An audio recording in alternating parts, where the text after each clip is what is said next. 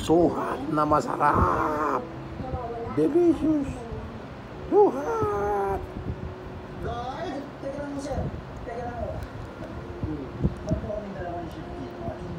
Duhat na masarap. Delicious. Ano yung English ng duhat? That's not duhat, that's atis. Ay, mali. Atis pa. Atis na masarap. Maling duhat. Sugar apple.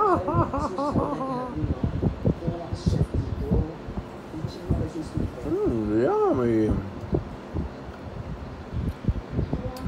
Yummy.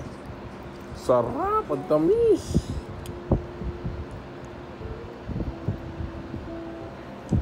Masarap. Masarap.